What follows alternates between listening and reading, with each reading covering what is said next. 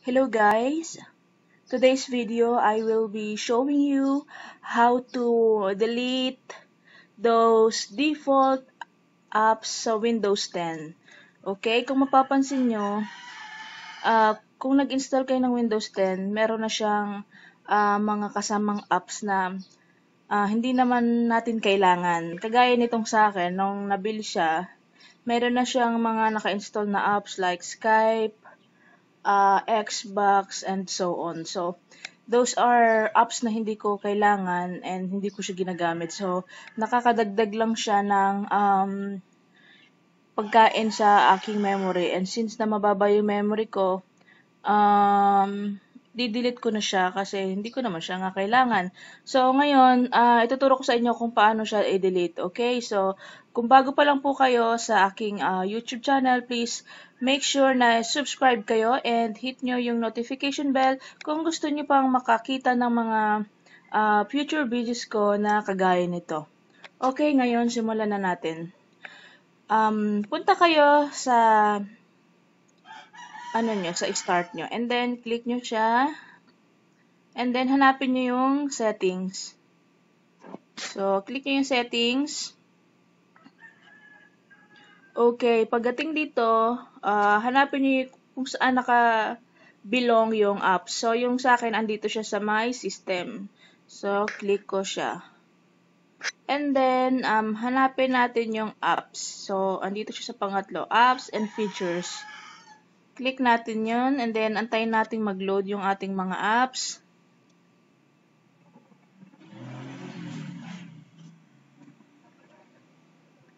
So, okay. Um, ito yung mga apps ko. So, kagaya niyan, meron siyang 3D Builder. Which is hindi ko naman kailangan. Uh, pangalawa, yung Skype. And then, yung Lenovo App Explorer. And then, itong mga puro Lenovo, Lenovo na to, kasama na talaga siya. So, ngayon, uh, buburahin ko na siya. Ang isa pa, itong Lenovo Vantage, Lenovo Utility, um, itong McAfee, uh, tatanggalin ko na rin siya kasi ang napansin ko sa kanya, hindi siya free from uh, time na ginamit ko siya nung uh, nabili. Siguro mga 6 months, kailangan na siyang magbayad. So, parang 6 months lang yung validity nung um, McAfee. And then, ang sunod is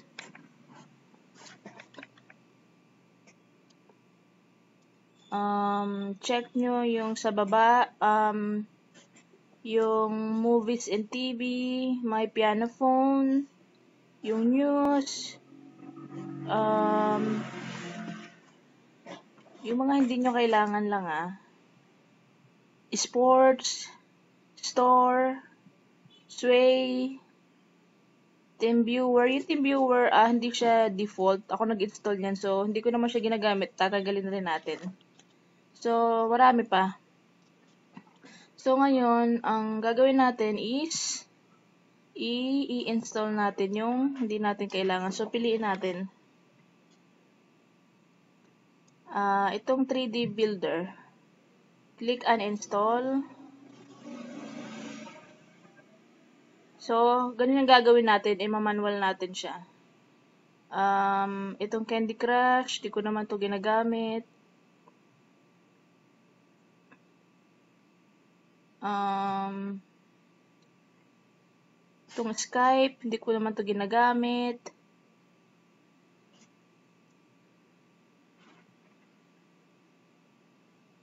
Itong portal, um, I think hindi. Uh, magagamit ko to sa future. Itong App Explorer, um,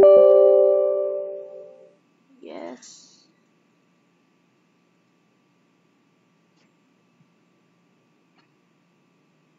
So,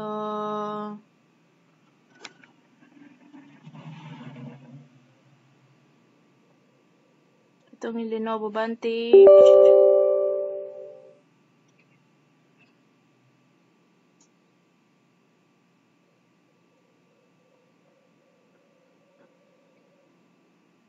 Itong Yes um itong McAfee.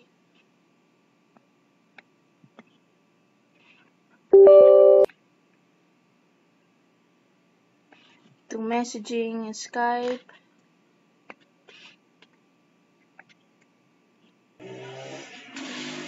Itong solitaire collection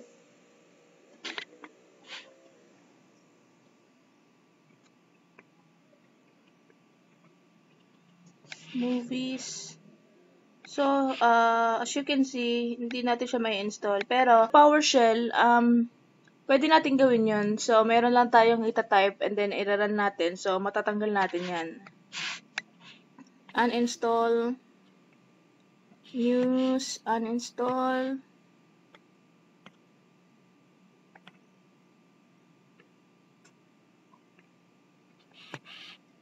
Uninstall uninstall. Huwag yung store, baka kailanganin ko siya sa future. Ito ba yung uninstall? Okay. Yung TeamViewer, uninstall. Yes. Um, tips, uninstall.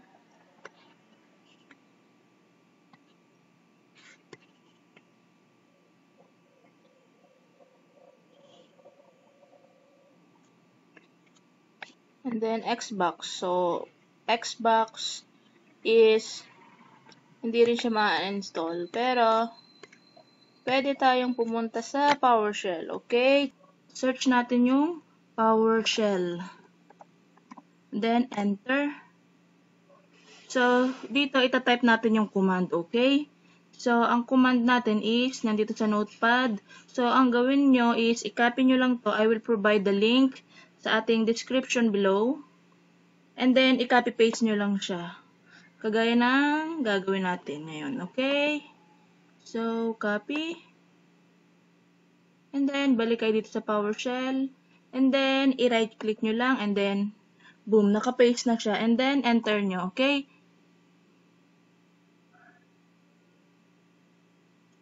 So, it's processing. Antayin nyo lang ha. Okay, so, yun na, okay na yun. Pwede nyo na siyang i-X ngayon. So, try natin. Tingnan natin yung Xbox. Xbox. So, as you can see, need nyo na siyang i-install ngayon. Okay? So, sana guys, uh, meron ako ngayong na ibahagi sa inyo na natutunan nyo. Okay, so if you have any questions, please do not hesitate to write a comment or if you have requests, tutorial requests, whatever, uh, just ask me. Okay, so thanks for watching.